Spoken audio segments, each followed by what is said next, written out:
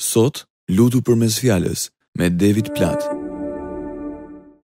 Dhe Zoti i tha Moisiut, Zbrit dhe paralajmëro popullin solemnisht që të mos sulet drejt Zotit, për ta parë, dhe kështu shumë prej tyre të gjejnë vdekjen. Eksodi kapitulli nëntëmbëdhjetë vargu njëzet e një. Kur lexoj këtë varg, mahnitem dhe ja pse dua të lexoj këtë fillimisht. Te Eksodi kapitulli nëntëmbëdhjetë na jepet shumë informacion, më së shumti ky varg. Pra, ky është Perëndia që po i thotë Moisiut për popullin, ndërsa ai takohet me popullin në malin Sinai. Ju nuk mund të më shihni dhe të jetoni. Perëndia e kishte ftuar Moisiun të vinte në mal por i kishte thënë atij atë që na thuhet në vargun 21. Paralajmëro popullin solemnisht, që të mos sulet drejt Zotit për ta parë dhe kështu shumë prej tyre të gjejnë vdekjen. Perëndia në shenjtërinë e tij nuk mund të shihet. Ai është një zjarr konsumues. Hebrenjtë kapitulli 10 i referohet kësaj tabloje duke treguar se si populli i Perëndisë nuk mund as të afrohej sipër malit. Në Bibël na flitet për bubullima dhe vetëtima dhe mali Sinai ishte i mbështjellë me tym, sepse Zoti kishte zbritur në të me zjarr dhe po fliste me bubullima. Është një skenë mahnitëse dhe madhështore. Thjesht mund ta imagjinoj një popull me miliona njerëz te këmbët e malit, duke soditur këtë skenë dhe duke qenë të frikësuar. Ata mendonin, Nuk mund të afrohemi. Nuk mund të kalojmë përmes këtij vendi. Dhe Perëndia thotë, Thuaju të mos afrohen. Pra ne lexojmë këtë histori te Eksodi kapitulli nëntëmbëdhjetë dhe më pas mendojmë për atë që mund të bëjmë tani, për atë që unë dhe ju mund të bëjmë në këtë çast. Me anë të gjakut të Jezusit, të derdhur për mëkatet tona, unë dhe ju mund të hyjmë në praninë e Perëndisë.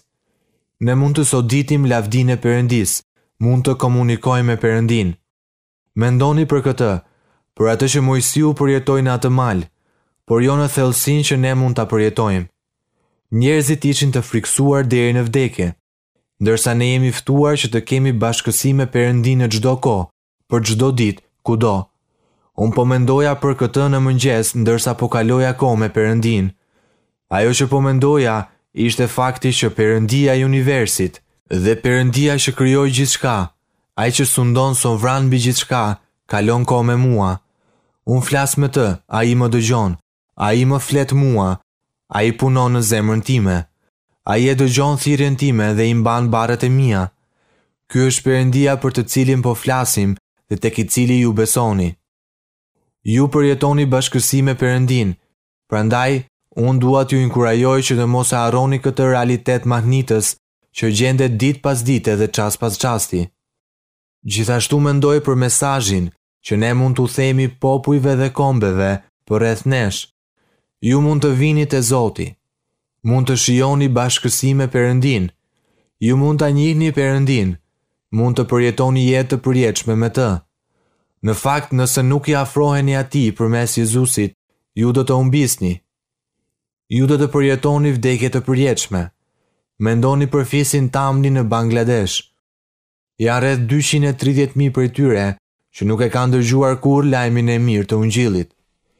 Zot ne lutemi për këtë fis në Bangladesh, që të dërgosh dikë t'u flasë atyre për lajmin e mirë se si mund të të njohin ty dhe si mund të përjetojnë e të shijojnë bashkësi me ty, njësoj si ne. Perëndi unë lutem për çdo ndjekës të Jezusit, për çdo fëmijë tëndin që po dëgjon tani.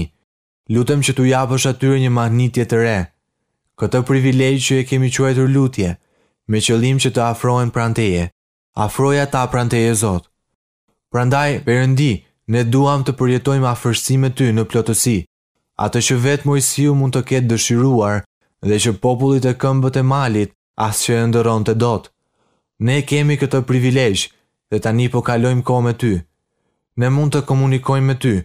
Ti i dëgjon lutjet tona dhe i flet zemrave tona përmes Fjalës Sate. Perëndi ne të lavdërojmë për atë bashkësi me Ty. Jezus të lavdërojmë që e bëre të mundur këtë gjë. Ne të lavdërojmë që vdiqe në kryq për të mbuluar mëkatet tona. Për të siguruar një rrugë që të vinim në praninë e Perëndisë dhe të njihnim jetën e përjetshme, të njihnim që kjo është ajo që do të përjetojmë plotësisht kur të vdesim.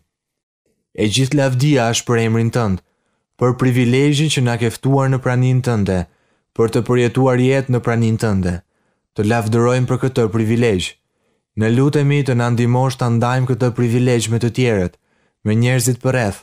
Në vendin e punës, atje ku jetojmë, me fisin Tambli në Bangladesh dhe kudo. Perëndi ne lutemi për këto gjëra me anë të gjakut të Jezusit dhe në emrin e Jezusit.